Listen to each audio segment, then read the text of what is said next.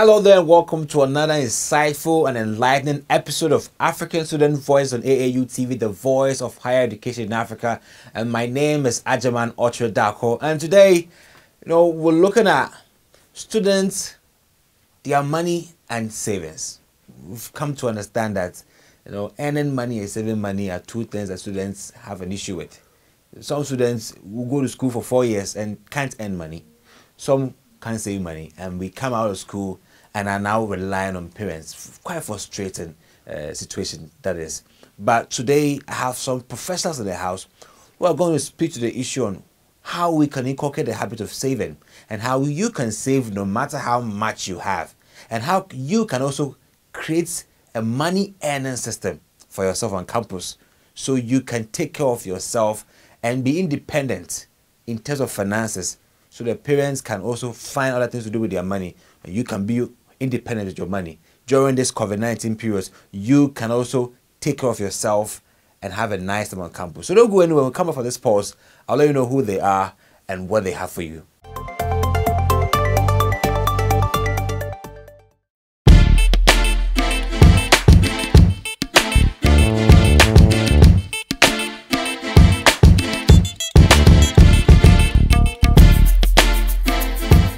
an institution or individual? You intend to organize a memorable event to be archived for future reference? Then look no further than AAU Studios because it's your best bet.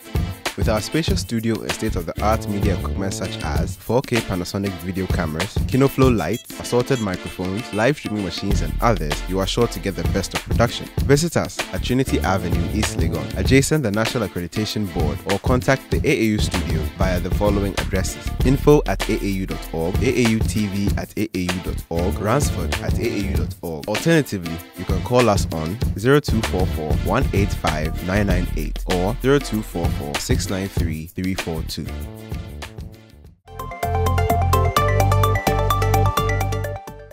You're welcome back to African Student Voice on AAU TV, the voice of higher education in Africa. And my name is Ajaman Ochodako. I told you that I have some professionals in the house who are well endowed. Yes, they have the, uh, the understanding. They've been doing a lot of advocacies and trainings on financial management and literacy.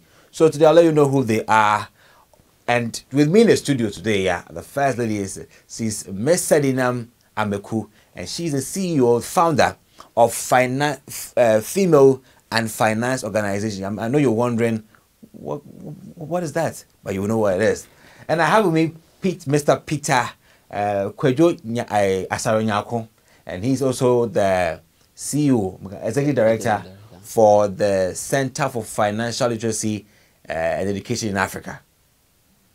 Nice people, you're welcome to African Student Voices. Thank you. I'm so glad to have you here because the students in Africa actually have given me a, a responsibility to bring onto this show what they need, what they want to hear. And one of the most important things they need now is how they can manage their funds. Because we're going back to school very soon. And when we go back to school, how can we survive in times like this? We know COVID 19 has slowed business down. So we won't be expecting the same cash flow we used to expect those times. And we'll have issues a bit tight. But how could we manage this? So I found you to be here, and they are glad to have you here. Sure. We are glad to be here. Nice, nice, nice. So uh, we'll start with um, Sedi. Yeah. Sedi, tell us about uh, female and finance organization. Qu- Quite a unique name for an organization. How did it start with you? Okay. Um, growing up, Mm-hmm. I have always wished to help people um, acquire wealth, Great. even though I didn't have any. Um, but I was looking at um, advising high income earners. Okay. But something changed. After my national service, um, I once decided to walk around in the area. And on the first day, I saw some women gathered. The second day, I saw them gathered. And then I was wondering, what is the reason? Why would these people, uh, these women gather here almost every day Yeah. instead of going to work? Sure. So I asked my mom later, and then she told me, "Oh, those women are gathered there because they take loans and they gather to pay and all of that, and they are in groups." And then she just added that, "Oh, they don't even use the loans wisely." Okay. So that part of her statement caught my attention, and I Mm-hmm. joined these women um, in their next meeting To take loans. and Or I just I just wanted to know exactly what was going on there Mm. because you have to be part of them to know what. So I sat at the far end.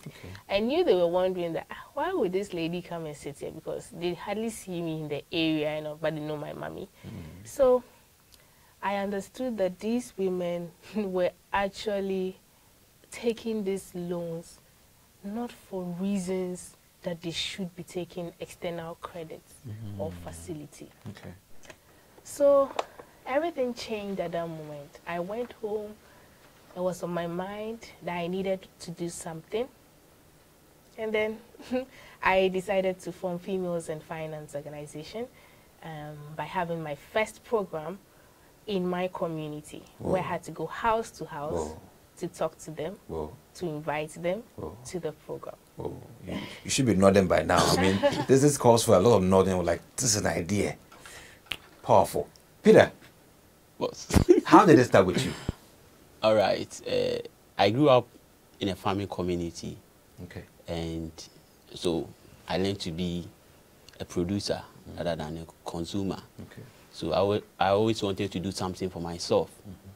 So growing up, uh, my granddad shared a story with me how his financial actions and inactions had a huge impact on his life in his old age. Okay.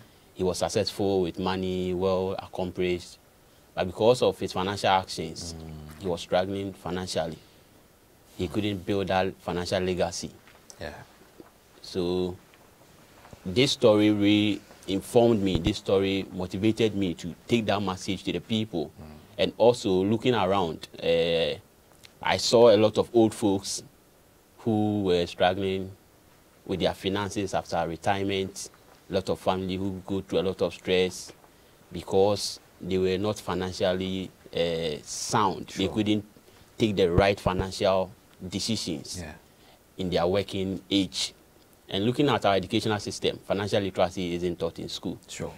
We can graduate with a four-year degree and Well, we don't even know how to manage our money. we know That's nothing true. about finances. So I decided to be that change because there's this saying that be the change you want to see in the world. So I decided to stand for financial literacy, Exactly. put the message out there so that people can manage their money well and plan for their future. Great. So I started Film Ambassadors Network. Mm-hmm. This was a group of young professionals. We go to schools, we go to the marketplace to educate people about their money matters. So from there, 2019, we started the Center for Financial Literacy, Education Africa, with two other colleagues. We wanted to uh, make a, this whole advocacy, wanted to make it official so that we can reach out to a lot of people. Yeah. No, allow me to make this clear to my, my, my, my friends, family watching uh, all over the continent.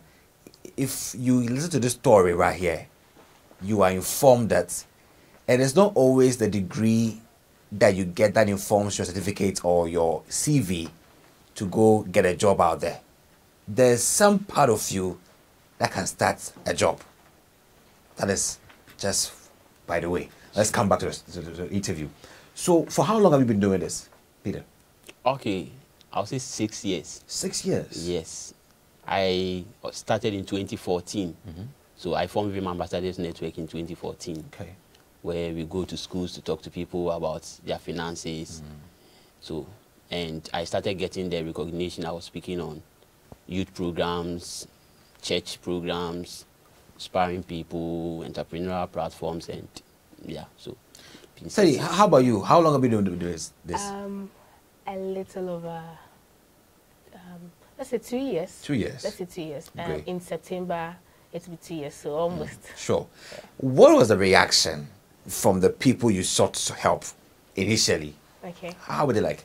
So um, the first thought that um, um, where I started, my community, these people see me around and they give me that respect. You see, when you're in a community and you don't get to sit at home and just do nothing, and so when they see you, they even greet you first. Older people. Community and all of supervisor, right? So when they saw that I came to their homes, they were surprised. And they wanted to hear from me. So when I told them that I'm having a program for them, um, they they didn't hesitate to attend, even though they didn't understand what I wanted to do. They thought I was working with the bank and wanted them to open accounts with my bank. Yeah. But I made everything clear to them, and they really, up till now, some of them still come to my home and say they have so and so amount of money. What should they use it for? Oh. That's and amazing. it's amazing that I started in my community and they accepted me and received me. About 65 women showed up that day for the program. So my little 500 to 600 cedis that um, I saved from my, not that I saved, but I took from my national service uh, savings, the money, that's what I used for the organization and all of that. So I saw that it didn't go waste. The chairs I carried myself did not go waste. Yeah, the clean I did there didn't go waste. I was warmly received, and they received the message well. Amazing. Amazing. Now let's come to the main issue. So this is about students right here. Sure. Uh, when students hear financial issues, you know, making money is a good thing, no, but saving money is one of the difficult things that we have. Sure. Let's start it from the basics. Some students say there's this uh, statement that students don't like saving. We don't like saving. What is your view towards that, Peter? You don't like saving. Why? How? Okay. I, I I will relate it to our upbringing. Yeah. So growing up, we see our parents not saving money. They themselves they didn't know the essence of saving, Yeah. and it became part of us. So in our community, people don't really take saving seriously. So we it has become part of us, and that's the reason why most people don't like saving. So it's it's a culture thing. We didn't we were not taught about saving. We were not uh, educated on the essence of saving. Why should I put money down Yeah. for someday? So we don't have that perception, that uh, future uh, benefit of putting money down. So we tend to spend all our money. Our parents do impulse buying and all that. So it has become part of us. And I also think young people think they have a lot of time. Well, I'm young and I have a lot of time ahead of me. So if I don't save, it doesn't matter. But we don't have that much time. Okay. Yes. Okay. So, Sadie, um, Yeah. someone would say, I'm a student. I was sent to university to go and learn. Yeah. I don't have any job. Mhm. And uh, savings, we know those who work are the ones who save. Yeah. Because they earn big and they save big. But for us, we are students. So, savings is shouldn't be part of us. Uh, Are we wrong when we say that? We um, they are very wrong. Yeah, very wrong. Okay. So, savings does not mean that you're saving a hundredth of the hundred you have. Savings means even if it is 0.001%, you are saving something. Okay. And um, usually I'll say that the youth, um, when we are talking about this savings and stuff, we should go beyond the savings and talk about investment. yeah, savings actually ends things just like that, but investment is better. Okay. So I'll uh, prefer to talk about investment instead. Okay. So if um, I go to school, for example, I'm in school and mommy sends me 100 cedis.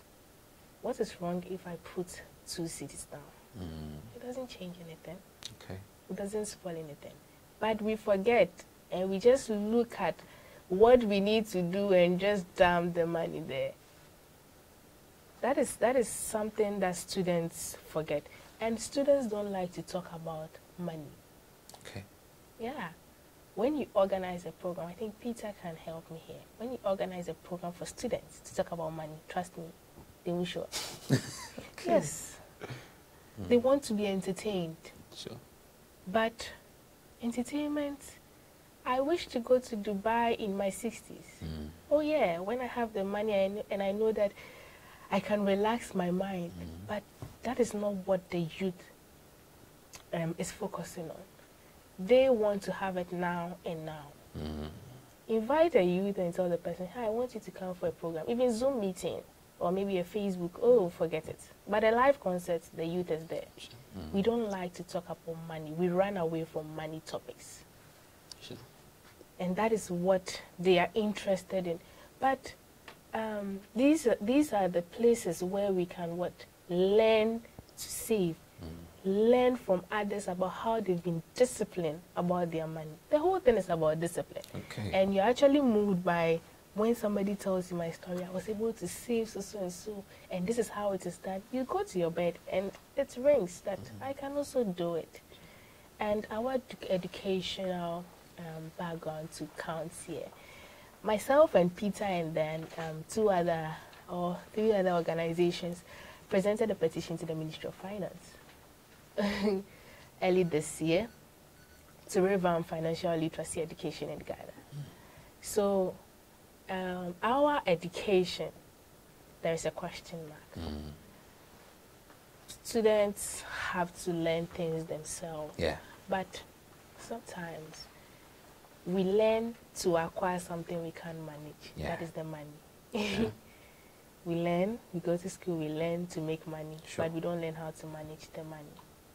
And that is that is a loop in our educational system. And mm. I think if there is a change in that, it can help us as a nation or the youth. Splendid. Sure. So Peter, the issue about we don't like saving. Sure. You know, we don't work. We are not working. Sure. So we can't make money. What do you have for that particular student in that condition? Okay, so I would say that statement has no basis. Mm. Because money comes to our hand every single day, okay. even if you are not working. Okay. Your mom is giving you money, mm. your dad is giving you money, mm. and that money you can save a portion of it. Okay. So I think just like Sedinam was saying, it's, it's, it's about our orientation. We are not uh, inspired to save money. That discipline is not there. Mm. But once we develop the habit of saving, once savings becomes a lifestyle, mm. even if we get one cedi, we will start saving money. So I have some nieces and nephews in my house and I have inculcate that habit in them. Mm. So I bought two box for them and I told them, once mommy gives you one cedi, put 20 pesewas in the box. Okay. On, in December, I'll come and open it for you. Mm. And if you're able to reach a certain amount, I will add a certain amount to that amount that you have been able to raise. Okay. So once uh, we develop this habit, it becomes part of us, and any amount that comes to us, we're able to put a part down. Mm. Yes, so no one should say that I'm not earning that huge amount, so mm. I won't save. If you're not saving now, what uh, what is the basis that when you get 10,000 Ghana cedi, you save? if you're not saving one cedi from your 10 cedi, okay. what's the basis that you save a thousand cedis from your 10,000 cedis? you have to develop that. Exactly. All right, so it's getting it's getting interesting right here with financial literacy, and you know, um, if you can't save just one cedi from your ten cedis, forget it. but you know, we can make it happen. We'll go for a quick pause. So we'll come back. We'll talk about more on financial uh, literacy management. Don't go anywhere.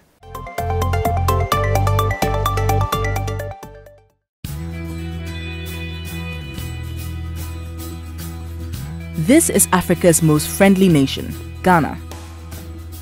A warm reception awaits you in an environment where you can discover and harness your full potential. Your home is an academic haven lying northeast of the city center, a quick dash from the airport. A spirited community where young, vibrant minds are empowered to express themselves, break academic boundaries, and thrive in an atmosphere of rich cultural heritage and excellence in various collegiate and extracurricular activities. This institution represents a whole new world of fun and offers you a variety of activities, facilities, and services geared towards your total development. Believing in the uniqueness of all our students, we encourage them to pursue excellence in integrity. Welcome to the University of Ghana your preferred academic destination.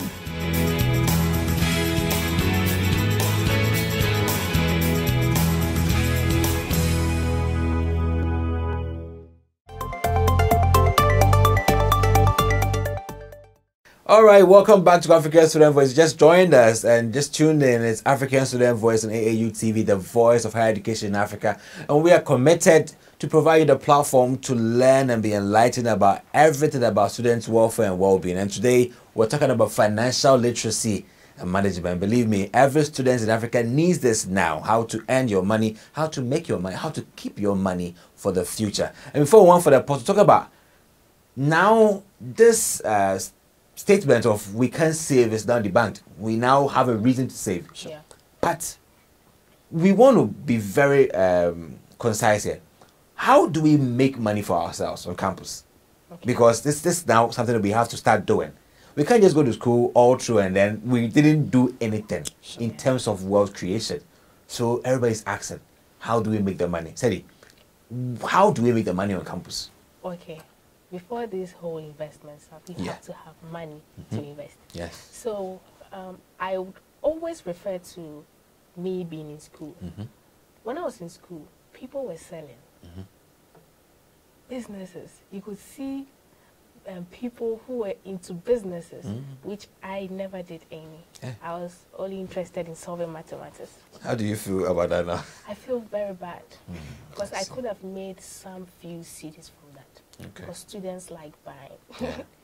Yeah. yeah, and I think that students should not be shy of involving themselves in business while in school. So far as it would not take them to a third class or a grade or a, a class that they wouldn't like, mm. they should give attention to it Okay. they can they have we have so much time on campus trust me so much time because your parents has uh, have it in mind that i want my children to complete and then get a good grade. So i want to give them all the time that they want. I wouldn't call them to come home to come and do so so and so for me. So they're in school.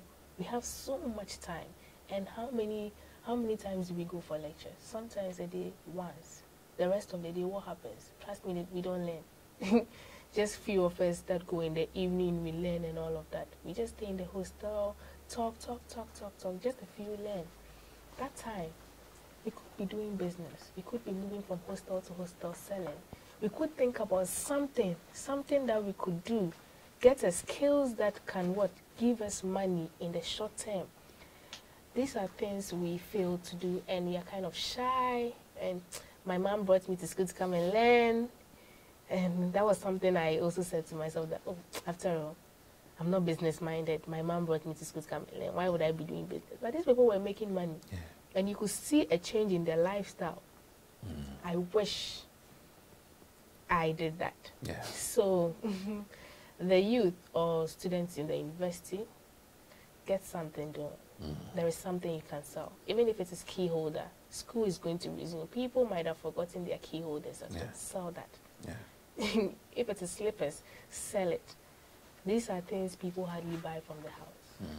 And you can be at the point of sales when they come, hmm. or point of their need when they come, and they will all come to you. Sure. So get something doing. A business in school, it's not bad. It's a No. good thing. That's just amazing. P, what have you got to say to that in terms of creating wealth for themselves? Okay. Sedinam has said a lot. A lot. Yes, so focus on service, just like Sedinam said. Students should focus on service. They should provide value for their colleagues. Mm. So become a solution provider. So when people need something, your name should come to mind. Mm-hmm. So mostly on campus, people were calling me Akudo, a businessman. businessman, because I sell anything that people need. Mm. So I, I listen to conversation a lot. I'll come and sit down and then I'll be listening to them. We need this, we need this, and I'll provide that thing for the students. So let's focus on service. Let's serve other people. Because once you start serving, once you start providing solutions, you are creating value and people will pay you for that. So look around you, your friends, your dormitory, what the, your colleagues need, even your roommate. can start serving your roommate, and she will pay you for for for, for that. Yeah. So I will, there's this uh, lady who was doing uh, was writing project work for her colleagues, Yeah. and they pay her for that. So let's become solution providers. Yeah. Let's solve other people's problem on campus, and once we start doing that, we start making the money. We just have to monetize it. Yeah. Sure. You know, somebody will say that if it's about money making uh, and money savers, then anything anything goes. Uh, some would throw coins under their beds, and at the end of every month, they'll go and check how many coins they put there. Yeah. Some will throw into their wardrobes, into their shoes, into money boxes. Yeah.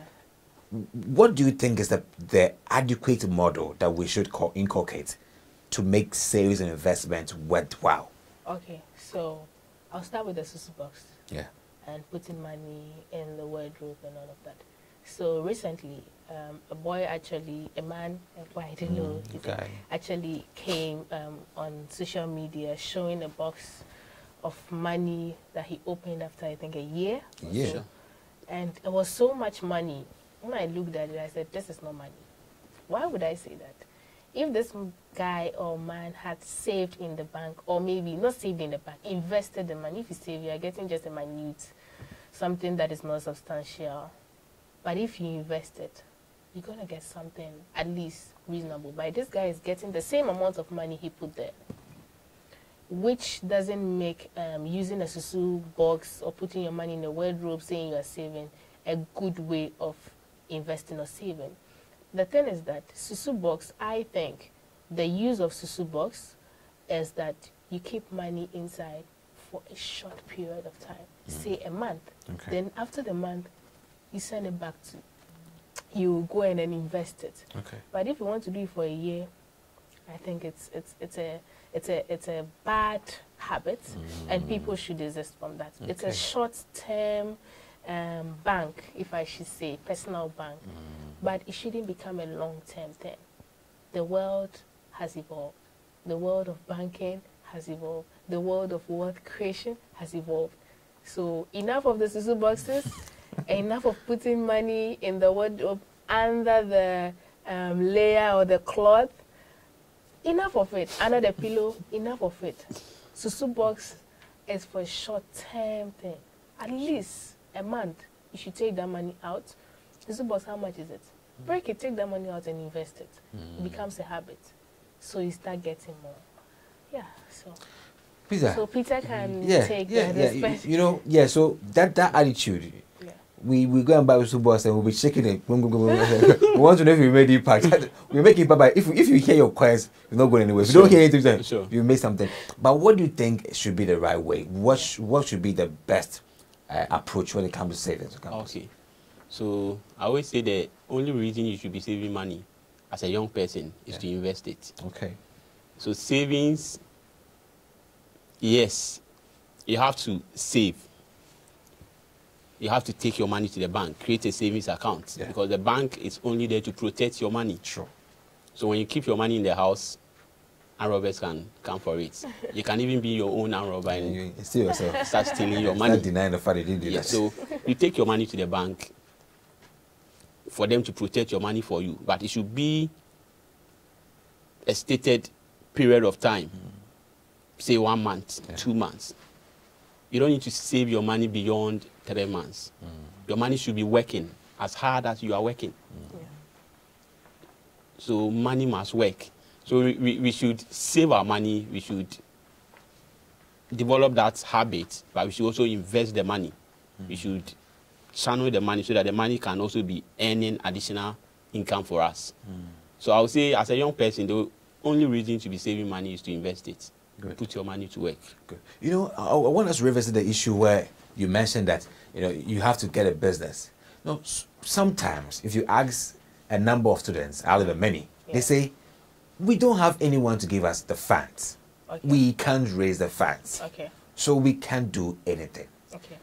Should shouldn't be worried about that aspect where you have to get a chunk of money like a thousand Ghana to go to the business. Mm-hmm. Without that, we can't do anything. Okay. So number one, the way we ask our parents for money, mommy, I want this, I want money. You can ask for that too. You know, if you don't put your mind to it, you won't get it. You say you've asked for a, a John the Baptist head. Uh, this is a huge request. No? Yeah. We can't give you that much money. At least ask her, Mama, I want to do some business in school. I need 200 cedis. Your mom would think and rethink and be like, my child is asking for money to do business in school. And if you have a parent who is business oriented, trust me, she'll find a way of giving it to you. We get cash gifts and all of that. Yeah. Those monies could be channeled into that. Okay. And I want the youth to hear something from me today. Find businesses that you can buy shares in. Okay. There are some people who are really promising. Trust me. In school, these people are now making money. I was there, uh, we were mates, and they are making money from that business that they started in school. Okay. I wish I, I put my mind to it and say, "Oh, I'm putting at least 300 cedis in it. Sure. I'm buying shares in it. We only think going to the bank to buy shares is what makes it that you have shares in it. No, no, no, no. Sure. Look for a friend's business. Look at the business. Ask your friend, how do you intend making the money? So if you can't earn, if you can't, if you can't run a business, this is an option. Hmm. Look for a business that you think can make it even after the four years or even after you are done with school and invest in it. Keep documents. You may, it's a risk, but you are hopeful and you may get returns from that. Mm-hmm. So you put your money to work at an early stage, not necessarily putting your money into another business. We are not all called to do business. Mm-hmm. That is one thing people have to know. Okay. People are supposed to go to the corporate world. If we are all doing business, and who, who is going to be in the bank? No one. So some people are called to do business, some are not. But if you are not called to do business, look at that option. So, P, no, so Sure. this issue of money making, that's creating value for yourself. I don't have the money. I don't have the money. Who can help me have get money to do business? Uh, beyond our parents, what other avenues can we uh, actually explore Sure. to raise these funds? Okay, so I'll say it revolves around your network. Look around your network. Okay. Uh, you have a nice idea, but you don't have the money for it. Okay. There is a big man out there who is looking for ventures to invest his or her money in. Okay. So you just have to look around your network. So first, you have to build a network because there's a saying that your network determines your net worth. Yeah. So the people around you, you can see them with your idea, convince them on how the reason why they need to put their money in your mm-hmm. business. And these people, trust me, they want to get additional money on their money. Sure. So once you give them the statistics, once you give them this is how much the business is going to earn, trust me, they will be willing to put their money into it. So look around your network, talk to people that you know uh, can support you, people that you can uh, trust your ideas with. I, I, I, I wanted to start a business. I, I was having this nice idea, and I went to almost 15 people. 14 rejected the idea, but one person decided to invest in it. Okay. So initially, people will reject your idea. People, others will want to own the idea. But once you keep to it and you talk to a, a lot of people, you will get someone who will invest in your idea, and you will start your business. Amazing, amazing. You know, I, I met a couple of students time when I asked them, so uh, how do you make money? So for us, we, we do sports betting. Uh, that's where we get our money. And uh, I think the sport betting companies also do that. Okay, students, we'll get close to them. So we, everywhere they go, we get close to them. So every university in Ghana, you look around, there's sports betting somewhere. So they make quick money there. They don't get dry. Yeah. So they make sports bet. And he said, okay, there it came to help us. I mean, we are now um, keeping ourselves okay. We don't call our parents anymore Sure. because we are okay. Yeah.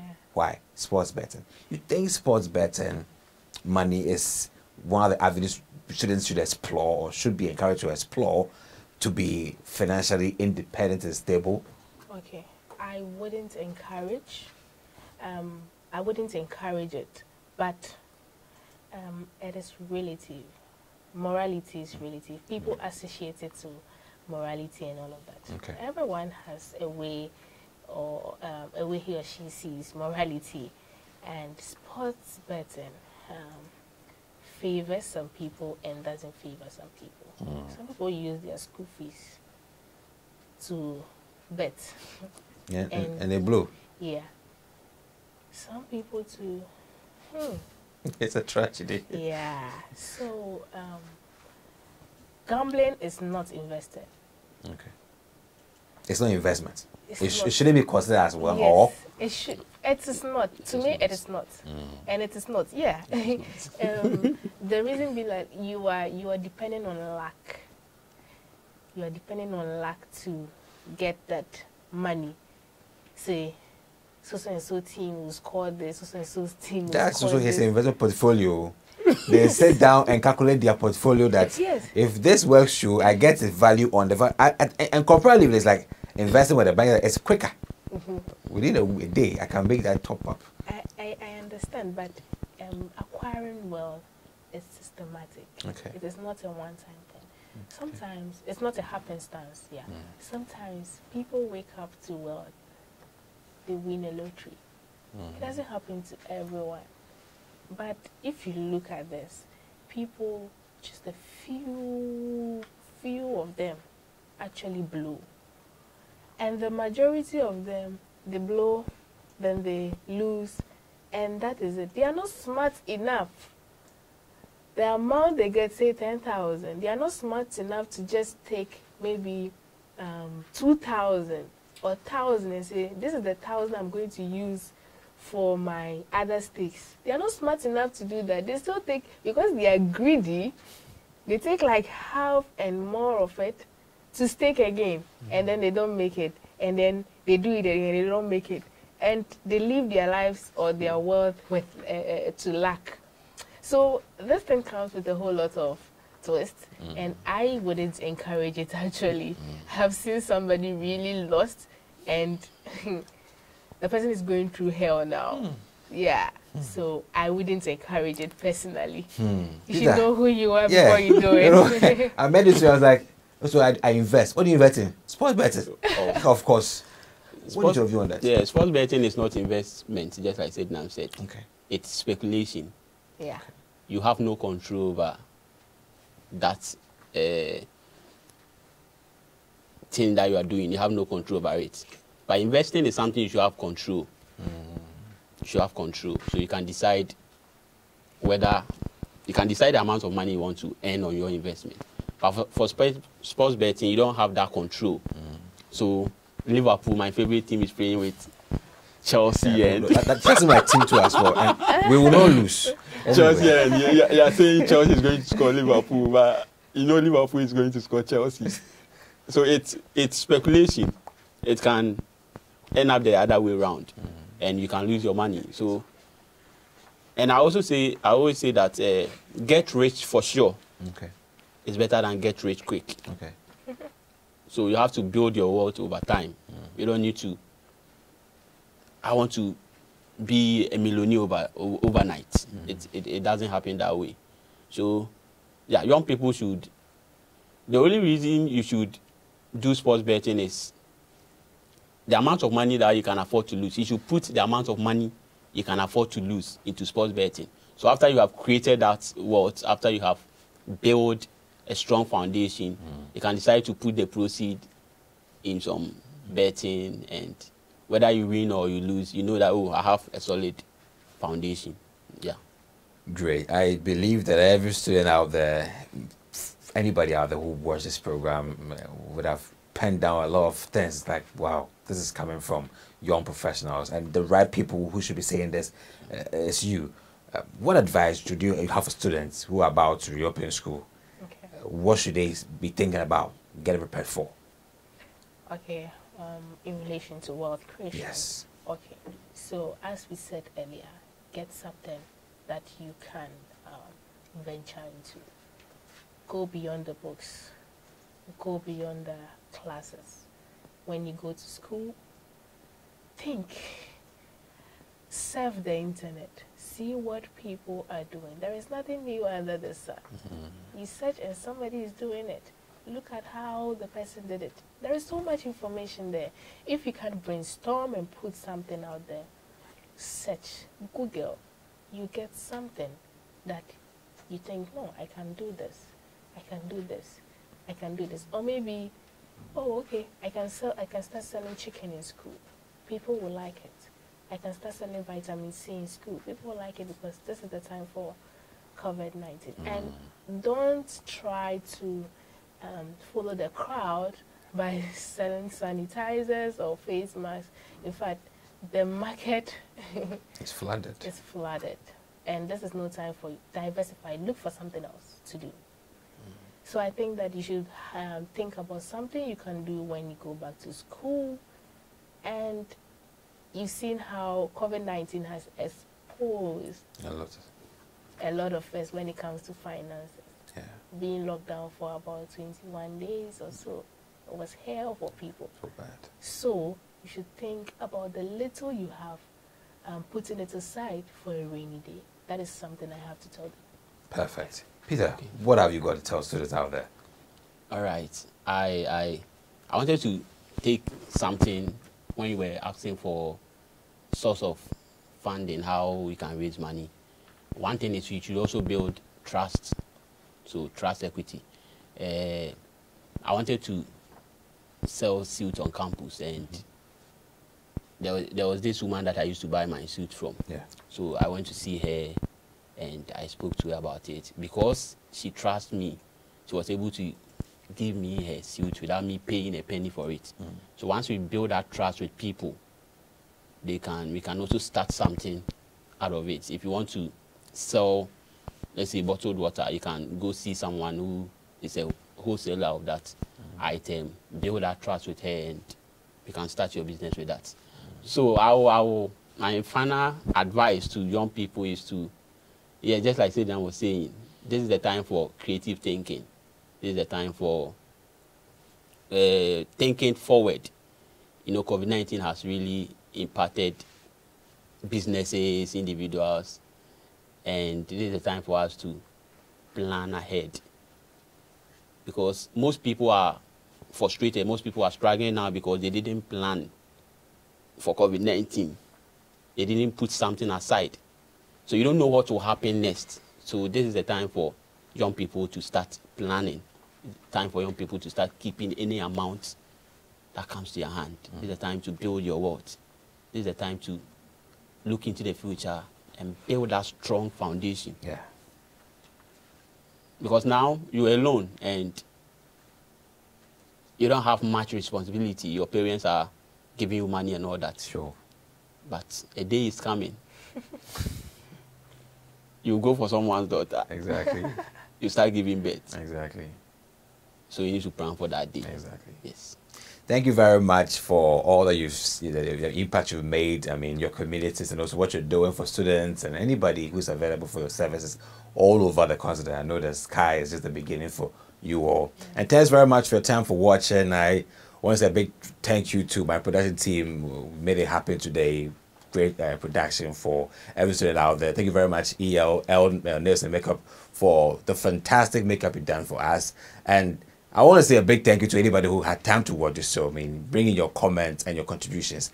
This is time we need to support to carry the message to every student in the continent to be the best for the future. My name is Adimo Shudak on this African Student Voices. Keep watching African Student Voices AU TV and have a nice day. Bye.